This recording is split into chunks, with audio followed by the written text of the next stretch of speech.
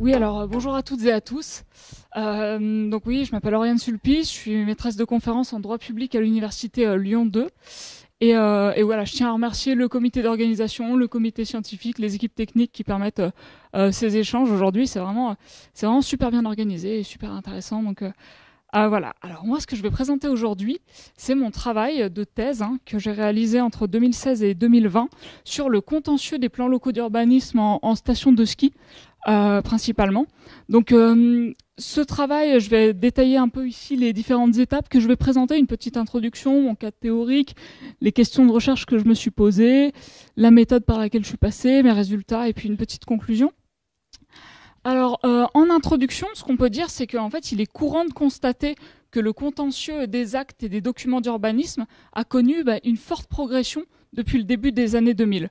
Par contre, il est moins courant d'aller lire des études qui portent sur ben, les conséquences concrètes de ce contentieux sur l'activité en matière d'aménagement euh, pour les communes.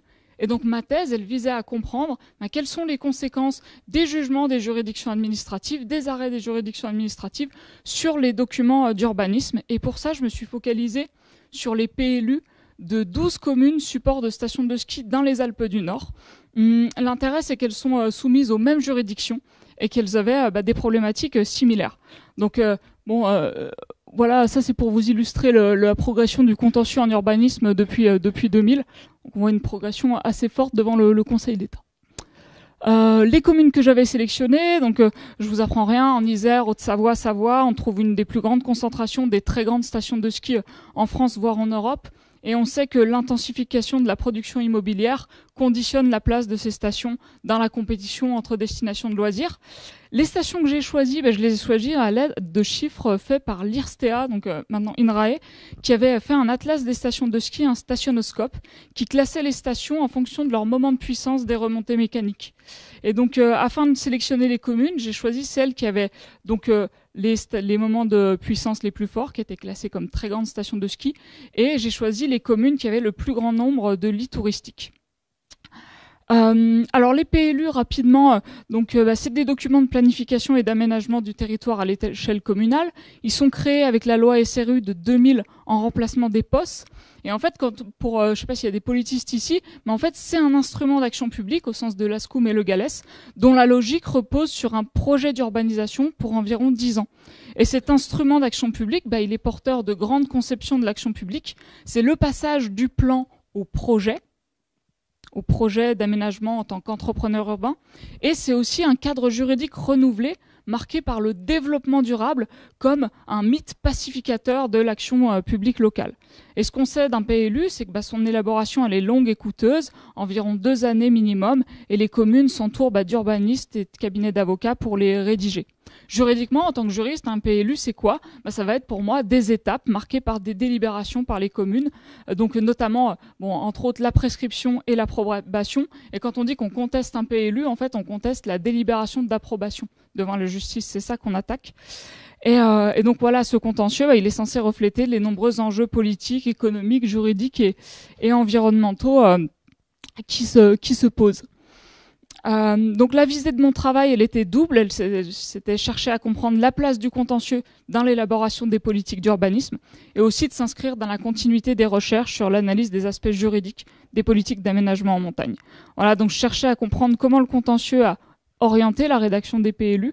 Mais, euh, et donc sur ces 12 communes, on sait que 7 ont connu au moins une annulation, voire plusieurs, entre 2000 et, et 2017. Alors mon cadre théorique, je reviens dessus euh, rapidement. Euh, l'idée, c'était d'avoir une approche qui ne délaisse pas le droit et sa logique interne, mais qui cherche à l'insérer dans une démarche interdisciplinaire entre sciences juridiques, sciences politiques et géographie. Donc, euh, je vais utiliser pour ça une approche juridique antiformaliste qui s'intéresse au droit en action, au contraire des études de dogmatique juridique, qui vient dire que le droit, il n'est pas neutre. Euh, et je viens aussi mettre à l'épreuve de la pratique des acteurs le cadre juridique. Hum, et donc c'est pas seulement une analyse des textes juridiques, mais bien une analyse de la pratique du droit. Euh, pour ça, je m'appuie aussi sur les travaux des politistes comme Lascum, qui nous dit bah, la mise en œuvre des politiques nécessite une production normative continue, et que le droit, c'est pas seulement une contrainte, c'est un ensemble de ressources mobilisables qui orientent les comportements, mais qui ne les déterminent pas. Une autre chose que je venais discuter ici aussi, c'était qu'est-ce que c'est que la définition d'une jurisprudence, d'une définition de justice? Est-ce que c'est le texte de la décision de justice? Est-ce que c'est l'interprétation par le juge des textes de droit Moi, je viens dire attention. Enfin, je suis pas la seule, je le tire de la littérature internationale qui vient dire l'influence d'une décision de justice se décide par la pratique qu'en auront les acteurs derrière, en fait. Est-ce qu'ils l'appliquent ou pas? Est-ce qu'ils viennent l'appliquer ou pas? Euh, Et donc, ma question de recherche, c'était euh, bah, quelle est l'influence euh, des, décisions de justice sur la conduite des PLU Est-ce que c'est une contrainte rigide, ces décisions de justice? Et est-ce qu'il existe des pratiques qui visent à se départir de cette contrainte? Et donc, il s'agissait bien de comprendre comment ce contentieux a orienté la rédaction euh, des PLU. Les grandes hypothèses de mon travail, hein, que je tirais de ma littérature, c'est euh, un, bah, le juge administratif occupe quand même une place centrale dans la définition euh, du droit. Hein. ça, c'est la première hypothèse. C'est un acteur important de la définition des normes juridiques. La deuxième, c'est que sa jurisprudence, loin d'être seulement une contrainte, c'est une réserve d'interprétation pour les autres acteurs. C'est une ressource et euh, son influence de ces décisions de justice, elle est conditionnée par la pratique qu'en feront les acteurs, par les, contestations euh, qu'ils en feront. Euh, voilà, alors pour ma méthode, bah, j'ai à la fois analysé le cadre juridique relatif à l'urbanisation en montagne, donc un travail de dogmatique juridique classique, d'analyse des textes, et un travail plutôt euh, peu commun en sciences juridiques, mais que vous connaissez bien, d'enquête de terrain, d'analyse d'archives des PLU, d'entretien avec différents acteurs, que ce soit euh, les chargés d'urbanisme des communes, leurs avocats, les urbanistes. Les associations qui avaient attaqué les documents d'urbanisme en, justice. Euh, alors, pour mes résultats euh, empiriques, hmm, le, un des premiers euh, résultats que je peux, présenter ici, discuter, c'est en fait ce qu'on constate, c'est l'affaiblissement des protections offertes par le Code de l'urbanisme, en tout cas pour la protection des territoires. Et ça, il faut le lire sur deux, axes. La première chose, c'est que le Code de l'urbanisme a été révisé de nombreuses fois au cours des années 2000 et 2010 pour contrer les restrictions posées euh, par les, décisions du Conseil d'État, notamment sur l'aménagement en montagne. Euh, on vient réformer notamment bah, la loi montagne et la façon dont elle est insérée dans le code de l'urbanisme en permettant bah, d'aménager des bourgs, des euh, villages, des hameaux existants, des hameaux nouveaux intégrés à l'environnement et finalement le nombre de dérogations permises par le droit augmente au fur et à mesure que le juge posait des restrictions dans ses décisions. Une autre chose à laquelle vous êtes peut-être moins familier, c'est les règles du contentieux de l'urbanisme. Et pour le coup, ces règles, elles ont été révisées régulièrement, subi des réformes pour en fait éviter les annulations totales par le juge, permettre des régularisations, des annulations partielles, etc. Ce qui vient nous faire dire que bah oui, ce droit de l'urbanisme, il n'est pas neutre, il est porteur d'une certaine vision de ce que ce doit être l'aménagement. Et moi, je travaillais plutôt avec des travaux de euh, géographes euh, comme David Harvey, par exemple, qui disent ben voilà, en fait, l'urbanisation, c'est euh, l'expansion spatiale du capital, etc. Et qu'est-ce qu'on voit dans le droit? Bah oui, le droit de l'urbanisme, c'est pas un droit neutre, c'est un droit qui vient permettre cette urbanisation, c'est un droit de l'expansion urbaine. Alors tous mes collègues en droit, ils sont pas d'accord, ils me disent effectivement, il y a des mesures, oui, il y a des des mesures environnementales dans, le droit, mais quand on regarde dans, dans, les faits et dans les PLU, euh, c'est pas c'est pas forcément euh, ce qu'on ce qu'on voit en premier en fait. Euh, voilà ça pour le cadre juridique. Ensuite, l'analyse des PLU que j'ai fait, bah, j'ai conduit donc une analyse des documents des PLU dans leur intégralité hein, euh, de 2000 à 2017. Et ce que j'allais regarder, c'est comment avaient évolué ces PLU et qu'est-ce qui s'était passé si on s'était pris une décision de justice d'annulation ou pas euh, avant, après. Quoi. Donc c'était un gros travail de dépouillage de ces documents. Donc le PLU, euh, je m'appuyais sur les travaux de Gabriel Fablet qui avait été creusé ce que c'était qu'une station de ski au regard de la production de David Harvey, euh, Gabriel Fablet, il nous dit, bah voilà, c'est une organisation productive territorialisée, hein, une station de ski, voilà, c'est un entrepreneur urbain. Sur le PLU, ce qu'il faut comprendre aussi, c'est que, et vous le savez sûrement hein, si vous travaillez sur ces documents, c'est que chaque acteur, commune, service de l'État, DDT, avocat, urbaniste, est porteur d'une vision de ce que doit être le PLU. Les services de l'État, ils sont très porteurs de la vision éviter, réduire, compenser, le développement durable. Mais quand on va voir les stations, elles, bah, c'est beaucoup moins ça en fait, surtout en station de ski. Ce qu'on cherche, c'est à avoir des hébergements touristiques, la construction de liaisons skiables, etc. Hum, ce qui me faisait dire aussi que le PLU en station de ski, finalement, c'est un, instrument d'action publique qui est fragile du fait des contentieux. Si on regarde l'espérance de vie d'un PLU, euh, là, c'est les communes qui ont subi des, annulations, c'est deux ans. Alors que juridiquement, ce qu'on prévoyait, c'est un document à dix ans. Et finalement, on se retrouve avec un document qui dure deux ans dès lors qu'on se le fait annuler. Euh, autre chose qu'il fallait regarder, c'est un peu les requérants. En fait, les requérants, bah, c'est plutôt des, propriétaires individuels, hein, plus que des associations, qui, elles, se concentrent leur recours sur des cas euh, emblématiques. Euh, bon, bref, avec toutes ces visions différentes du PLU, ces intérêts différents, le contentieux, bah, il prend une place assez importante dans les décisions d'urbanisme. Et finalement, c'est un élément de la décision euh, pour les acteurs. et c'est une contrainte, en fait, dans les volontés de développement des lits touristiques.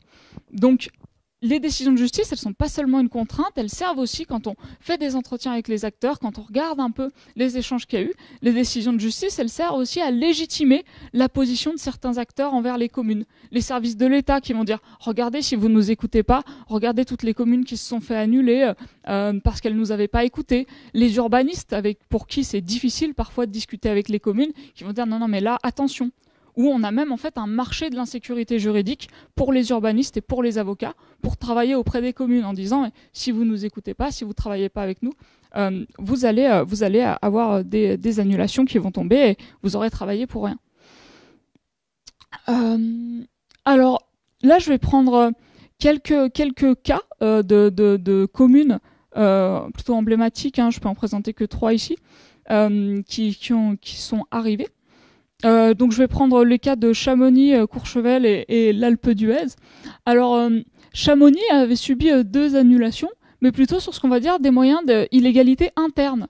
Ce qui veut dire qu'on va annuler une partie du PLU, on n'annule pas sur la procédure. Et donc finalement pour la commune, c'est pas tant une défaite si grande que ça. On se fait annuler une partie du document, mais on conserve le reste. Et surtout ce qu'a fait Chamonix de malin, c'est d'aller euh, ne pas appliquer la décision de justice en fait qui s'applique à elle tout simplement, de garder euh, la réglementation qu'elle avait décidée sur une partie du PLU et en fait au point d'aller se prendre une injonction devant la cour administrative d'appel qui dit maintenant ça suffit, il faudrait appliquer la décision de justice euh, qu'on avait pris. Et finalement la commune ce qu'elle a fait c'est pas tant d'aller appliquer la décision de justice que d'aller élaborer un nouveau document après en disant regardez ce nouveau document applique la décision de justice. Donc et finalement aller tordre le bras à la cour administrative d'appel en disant on n'a pas appliqué sur l'ancien document, on en a fait un nouveau comme on voulait.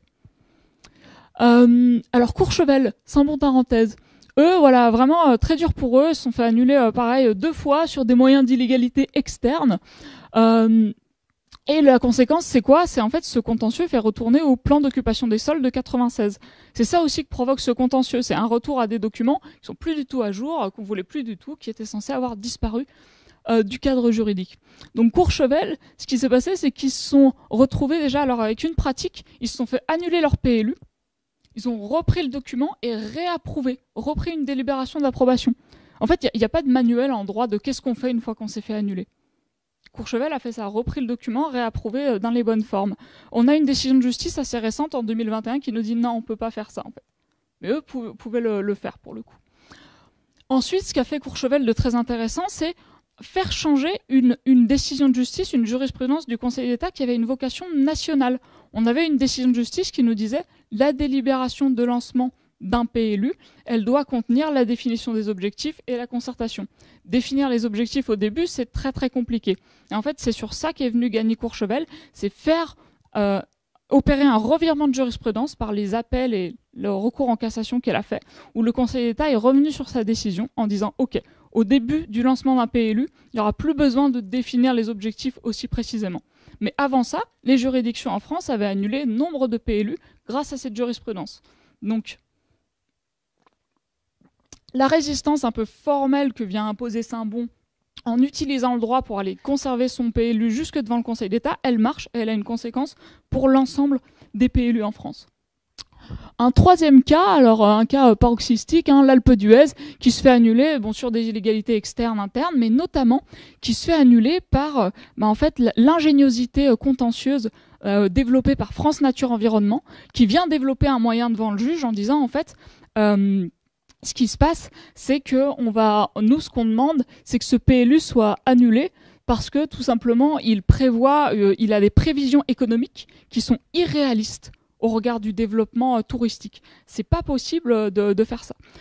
les services de l'État se demandaient est-ce qu'on peut contester un PLU sur le fait que les prévisions économiques sont irréalistes, etc les juridictions ont confirmé que bien oui, et on peut même se faire annuler son PLU pour ça. Et ça, c'est une innovation juridique que vient introduire FNE, qui n'est pas forcément l'innovation que vont introduire des avocats qui défendent des particuliers. Quand on est un avocat et qu'on défend un particulier, on va sortir tous les moyens de droit qu'on peut. Tant que bah, notre client peut aligner de l'argent, on va le faire. Mais par contre, l'innovation juridique, elle est assez faible à ces moments-là. Et FNE vient poser ça dans le droit, donc c'est très, intéressant. Et, finalement, bah, l'Alpe d'US euh, US se fait annuler euh, son PLU à ce moment-là en 2017. Euh, voilà pour ça. Maintenant, quelques stratégies de résistance à l'application des décisions de justice que j'ai pu observer dans ma thèse, de, qu'on j'ai appelé donc soit des résistances formelles, soit des résistances informelles. La résistance formelle, bah, la première, c'est tout simplement d'aller défendre son PLU devant les juridictions d'aller en appel, d'aller en cassation. Certaines communes le font pas. Val d'Isère renonçait. Dès qu'ils se faisaient annuler, ils arrêtaient, ils recommençaient, ils faisaient un autre PLU. Et dès qu'ils ont commencé à le défendre, ça a marché. Euh, ce que j'ai défini par euh, en droit, on a l'idée euh, d'un chercheur qui ont travaillé sur le capital procédural.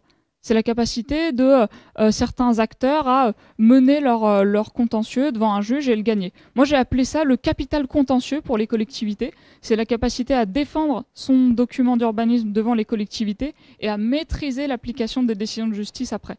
C'est le capital contentieux. Il faut savoir jouer avec ce contentieux pour pas se faire annuler tout le temps et conduire ses politiques publiques. Comme stratégie de résistance informelle, ce qu'on peut aller trouver, c'est des exemples d'illégalité qui se retrouvent dans les PLU et dans plusieurs PLU. On a euh, plusieurs PLU qui soit qui se sont fait annuler pour la même chose, soit on a des avocats qui nous disent lors des entretiens, bah oui, moi je conseille ça aux communes. Je leur conseille d'avoir telle ou telle pratique. La mesure, elle sera appliquée le temps que le PLU soit appliqué, et quand il sera attaqué et annulé, bah, il sera attaqué et annulé. Mais si on garde le PLU deux ans avec cette mesure deux ans, c'est très bien. Par exemple, que veulent faire les communes? Bah, Contrôler les sous-destinations en zone urbaine afin de favoriser l'implantation d'hôtels, pas des grandes résidences touristiques dont on ne maîtrise pas euh, le fait que les lits soient chauds ou pas. Donc euh, contrôler les sous-destinations en zone U, c'est interdit par le droit de l'urbanisme, mais par contre, on a plusieurs communes qui l'ont fait et qui se sont fait annuler. D'autres qui n'avaient pas de plan de prévention des risques sur leur commune sont venus poser des études de risques euh, que devaient faire les pétitionnaires de permis de construire. Ça, c'est une très vieille pratique hein, qui date des années 70 que les services reproduisent mais qui est, qui est pas possible. On peut pas imposer à un pétitionnaire d'un permis de construire de faire l'étude de risque. D'autres communes, carrément, bah, prévoient des constructions en, jaune, en zone rouge du PPR et se disent que ça va passer. Là, on se fait attaquer par le préfet. Euh, voilà, ça arrive à certaines communes. Donc voilà, on voit qu'on a la capacité de certains avocats ben, à conseiller ces illégalités. On a aussi par les communes une pratique d'anticipation des contentieux. Certaines communes approuvent leur PLU et lancent l'élaboration d'un PLU juste après, en se disant de toute façon ça va durer deux ans, dans deux ans on aura un nouveau PLU, si on se fait annuler celui-là, bah paf, on en aura un autre à sortir et finalement ça n'aura pas de conséquences. Donc euh, Meribel par exemple fait ça, les élus, Meribel euh, fait ça. Euh, une autre pratique, tout à l'heure, bah, les collègues là ils ont parlé des SCOT. Autre chose qui arrive et qui rebat les cartes des PLU, c'est le fait que bah oui, on a des Scots, euh, on a des Scots euh, qui arrivent. Et par exemple là, l'exemple du Scott Tarentaise Vanoise, on a certaines des plus grandes stations sur lesquelles j'ai travaillé, c'est que qu'est-ce qu'elles ont fait dans le cadre de ces Scots? Il faut travailler ensemble, alors qu'en fait on est concurrentes pour attirer euh, une clientèle touristique. Eh bien, les urbanistes avec lesquels elles ont travaillé ont imaginé un système de surface touristique pondérée qui répartissent les constructions immobilières entre stations. Et finalement, ce qu'on n'a pas réussi à faire dans les PLU ou autres, bah là, on peut euh, peut-être se le répartir dans les SCOT. On l'a vu avec les UTN, avec la loi montagne de 2016 qui intègre les UTN structurantes dans les SCOT. Donc maintenant, en fait, bah, que font les associations environnementales ou autres? Bah, C'est attaquer les SCOT, en fait. Et là, on a une décision du Conseil d'État qui est sortie hier qui nous dit euh, les UTN ou autres bah, sont bien soumises à l'étude au cas par cas pour l'évaluation environnementale et on n'aura pas une évaluation systématique. Donc c'est une défaite pour, pour FNE dans ces recours. donc voilà, pour ça, les SCOT à suivre, ensuite des, des PLU. Et, et bon, j'espère que c'était clair pour vous. J'en ai terminé pour ma présentation. Merci beaucoup pour votre attention.